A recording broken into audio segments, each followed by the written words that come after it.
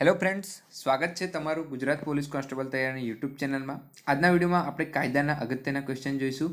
કાયદો તમારા ખૂબ તમારા માટે ખૂબ જ અગત્યનો છે. કાયદો એટલે કે આપણું આઈપીસી સીઆરપીસી એવિડન્સ એક્ટ અને બંધારણ. બરાબર? તો આમાંથી જ આપણું ચાલીસથી પચાસ માર્ક્સનું પેપર તો આમાંથી જ બની જશે. આ ચાર જે ટોપિક છે, એમાંથી મિનિમમ ચાલીસ માર્ક્સનું પેપર તો આમાંથી જ આવશે. તો કાયદો તમારા માટે ખૂબ જ અગત્યનો છે અને આ કાયદો તૈયાર કરશો તો જ તમે બરાબર પોલીસ કોન્સ્ટેબલમાં સારું એવું મેરિટ બનાવી શકશો. અને જો કાયદો તમે છોડશો, બરાબર?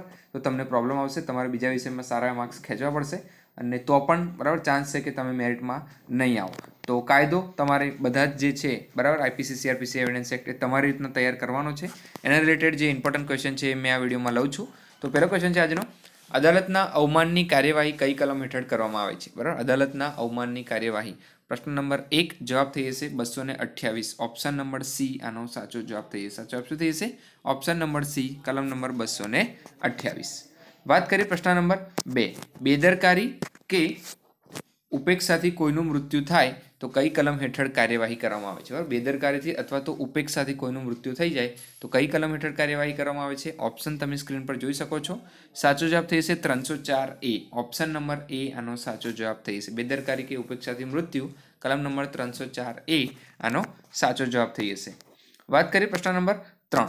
ભારતીય ફોજદારી ધારામાં કુલ કેટલા પ્રકરણો છે? બરાબર? ભારતીય ફોજદારી ધારામાં કુલ કેટલા પ્રકરણો છે? તો જવાબ તમારે કોમેન્ટ બોક્સમાં આપવાનો છે આનો કે ભારતીય ફોજદારી ધારામાં કુલ કેટલા પ્રકરણો છે? બરાબર? અહીંયા ભારતીયની જોડની થોડી ખોટી છે, પરંતુ આપણું અહીંયા ગુજરાતી વ્યાકરણ આપણા સિલેબસમાં છે નહીં. બરાબર? કે જોડની પૂછાય. ભારતીય ફોજદારી ધારામાં કુલ કેટલા પ્રકરણો છે? ઓપ્શન પચીસ, ત્રીસ, એકવીસ ને છવ્વીસ જવાબ તમારે કોમેન્ટ બોક્સમાં જણાવવાનો છે કે કુલ કેટલા પ્રકરણ છે? વાત કરીએ પ્રશ્ન નંબર ચાર. દસ્તાવેજની વ્યાખ્યા કઈ કલમમાં આપવામાં આવી છે? બરાબર? દસ્તાવેજની વ્યાખ્યા કઈ કલમમાં આપવામાં આવી છે? ઓપ્શન સ્ક્રીન પર જોઈ શકો છો. પ્રશ્ન નંબર ચાર જવાબ થઈ જશે ઓગણત્રીસ. ઓપ્શન નંબર એ આનો સાચો જવાબ થઈ જશે. દસ્તાવેજની વ્યાખ્યા કઈ કલમમાં આપવામાં આવી છે? કલમ નંબર ઓગણત્રીસમાં. વાત કરીએ પ્રશ્ન નંબર પાંચ. સામાન્ય અપવાદો કઈ કલમ હેઠળ આપવામાં આવ્યા છે? બરાબર? સામાન્ય અપવાદો જે આપવામાં આવ્યા છે એ, બરાબર? કઈ કલમ હેઠળ આપવામાં આવ્યા છે? તો પ્રકરણના નામ અહીં આપવામાં આવ્યા છે. પ્રકરણ પાંચમાં, પ્રકરણ છમાં, પ્રકરણ ત્રણ અને પ્રકરણ નંબર બે. તો પ્રશ્ન નંબર પાંચ જવાબ થઈ જશે ઓપ્શન નંબર એ. પ્રકરણ નંબર પાંચમાં સામાન્ય અપવાદો કઈ કલમ હેઠળ આપવામાં આવે છે? પ્રકરણ નંબર પાંચમાં આપવામાં આવ્યા છે. વાત કરીએ પ્રશ્ન નંબર છ. ક્રિમિનલ પ્રોસિજર કોડની કઈ કલમમાં જામીનપાત્ર અને બિનજામીનપાત્ર ગુનાની વ્યાખ્યા આપવામાં આવી છે? બરાબર? ક્રિમિનલ પ્રોસિજર કોડની કઈ કલમમાં જામીનપાત્ર ગુના અને બિનજામીનપાત્ર ગુનાની વ્યાખ્યા આપવામાં આવી છે? તો પ્રશ્ન નંબર છ, જવાબ થઈ જશે બે. સાચો જવાબ શું થઈ જશે? ઓપ્શન નંબર ડી આનો સાચો જવાબ થઈ જશે. ઓપ્શન નંબર ડી કલમ નંબર બે આનો સાચો જવાબ થઈ જશે. વાત કરીએ પ્રશ્ન નંબર સાત.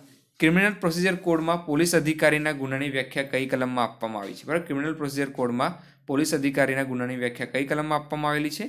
તો પ્રશ્ન નંબર સાત જવાબ થઈ જશે two C. Option number B આનો સાચો જવાબ થઈ જશે. બરાબર? સીઆરપીસી મુજબ પોલીસ અધિકારીના ગુનાની વ્યાખ્યા. તો કલમ નંબર ટુ સી આનો સાચો જવાબ થઈ જશે.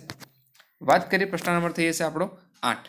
ક્રિમિનલ પ્રોસિજર કોડની કલમમાં તપાસની વ્યાખ્યા આપવામાં આવી છે. બરાબર? કઈ કલમમાં તપાસની વ્યાખ્યા આપવામાં આવેલી છે. તો તપાસની વ્યાખ્યા option two G two F two H અને ટુ સી તો પ્રશ્ન નંબર આઠ, જવાબ થઈ જશે two H option number C, આનો સાચો જવાબ થઈ જશે. ક્રિમિનલ પ્રોસિજર કોડની કઈ કલમમાં તપાસની વ્યાખ્યા છે? ટુ એચ નામની જે કલમ છે, એમાં તપાસની વ્યાખ્યા આપવામાં આવેલી છે. વાત કરીએ પ્રશ્ન નંબર થઈ જશે આપણો નવ. ભારતીય ફોજદારી ધારામાં કુલ કેટલી કલમો છે? બરાબર? ભારતીય ફોજદારી ધારામાં કુલ કેટલી કલમો છે? ઓપ્શન પાંચસો અગિયાર, બીજો ઓપ્શન ચારસો ચોર્યાસી, ત્રીજો ઓપ્શન એકસો સડસઠ ને ચોથો ઓપ્શન છે એકસો ને બાવન. તો સિમ્પલ ક્વેશ્ચન છે, આગળ પણ આ ક્વેશ્ચન બરાબર આવી ગયો છે, પરંતુ અમુક બુકમાં રિપીટેડ થતો હોય, એટલા માટે આપણે વિડીયોમાં પણ આ ક્વેશ્ચન રિપીટ થઈ જાય છે. જવાબ થઈ જશે પ્રશ્ન નંબર નવનો. ઓપ્શન નંબર એ, પાંચસો ને અગિયાર. ભારતીય ફોજદારી ધારામાં કુલ કેટલી કલમો છે? પાંચસો ને અગિયાર છે. વાત કરીએ પ્રશ્ન નંબર દસ. ભારતીય ફોજદારી ધારો ક્યારે અમલમાં આવ્યો? બરાબર? ભારતીય ફોજદારી ધારો ક્યારે અમલમાં આવ્યો? છ ઓક્ટોબર અઢારસો સાહીઠ, પંદર ઓગસ્ટ અઢારસો સાહીઠ, બે ઓક્ટોબર અઢારસો સાહીઠ ને છવ્વીસમી જાન્યુઆરી અઢારસો ને સાહીઠ. બરાબર? ભારતીય ફોજદારી ધારો ક્યારે અમલમાં આવ્યો? એવો આપણો ક્વેશ્ચન છે. તો આનો જવાબ પણ તમારે કોમેન્ટ બોક્સમાં આપવાનો છે. બરાબર? ભારતીય ફોજદારી ધારો ક્યારે અમલમાં આવ્યો? જવાબ તમારે કોમેન્ટ બોક્સમાં આપવાનો છે. બરાબર? ઓપ્શન ના ગણશો. તમારી બરાબર ખબર હોવી જોઈએ અને એ પ્રમાણે જવાબ તમારે કોમેન્ટ બોક્સમાં આપવાનો છે. વાત કરીએ પ્રશ્ન નંબર અગિયાર. ભારતીય પુરાવા કાયદા અઢારસો બોતેરમાં કુલ કેટલી કલમો છે? બરાબર? ભારતીય પુરાવા કાયદા અઢારસો બોતેર જે છે, એમાં કુલ કેટલી કલમો છે? તો એકસો ને સડસઠ એટલે કે ઓપ્શન નંબર સી આનો સાચો જવાબ થશે. ભારતીય પુરાવા કાયદા અઢારસો બોતેરમાં કુલ કેટલી કલમો છે? ઓપ્શન નંબર સી, બરાબર? એકસો ને સડસઠ કલમો આપવામાં આવેલી છે. ભારતીય પુરાવા કાયદામાં આઈપીસીમાં પાંચસો અગિયાર અને એવિડન્સ પુરાવા કાયદામાં એકસો ને સડસઠ. તો આ રીતના, બરાબર, તમને ત્રણેયની ખબર હોવી જોઈએ. વાત કરીએ પ્રશ્ન નંબર થઈ જશે આપણો બાર. પબ્લિક પ્રોસિક્યુટરના નામોની પેનલ કોણ નક્કી કરે છે? બરાબર પબ્લિક પ્રોસિક્યુટરના નામોની જે પેનલ છે એ કોણ નક્કી કરે છે? સુપ્રીમ કોર્ટના ન્યાયાધીશ, બીજો ઓપ્શન છે રાજ્ય સરકાર, ત્રીજો ઓપ્શન છે ડિસ્ટ્રિક્ટ મેજિસ્ટ્રેટ અને ચોથો ઓપ્શન છે રાષ્ટ્રપતિ. બરાબર? તો પ્રશ્ન નંબર બાર જવાબ થઈ જશે અહીંયા district magistrate. Option number C આનો સાચો જવાબ થશે પબ્લિક પ્રોસિક્યુટરના નામોની પેનલ કોણ નક્કી કરે છે? ડિસ્ટ્રિક્ટ મેજિસ્ટ્રેટ જે હોય, ઓપ્શન નંબર સી આનો સાચો જવાબ થઈ જશે.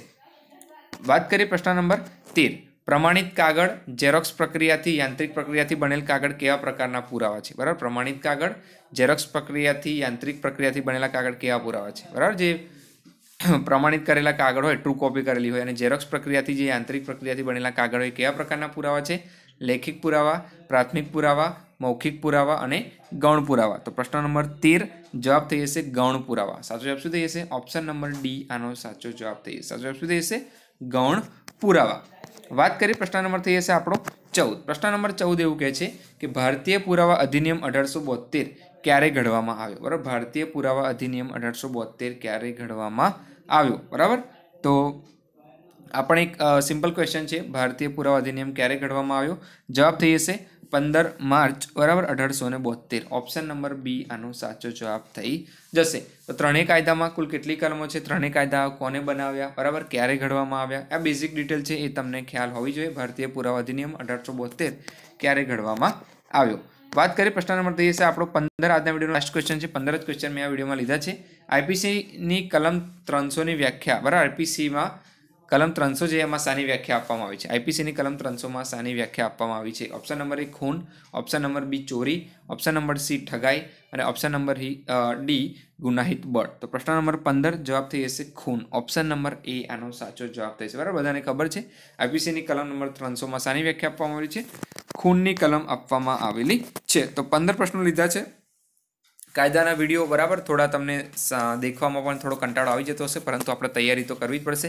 અને જે પણ કાયદો સારી રીતના તૈયાર કરશે, સારું મેરિટ આમાં ખેંચશે, એ બધાને ફાયદો થશે અને એ મેરિટમાં ચોક્કસ આવી જશે. તો કાયદો તૈયાર કરી દો કમ્પ્યુટર તૈયાર કરી દો, ઇતિહાસ તૈયાર કરી દો, જે પણ ટોપિક છે આપણા, બરાબર? સિલેબસના એ બધા જ ટોપિક તમે તૈયાર કરી દો. મળીને આ વીડિયો સાથે. ત્યાં સુધી જય હિન્દ, જય ભારત.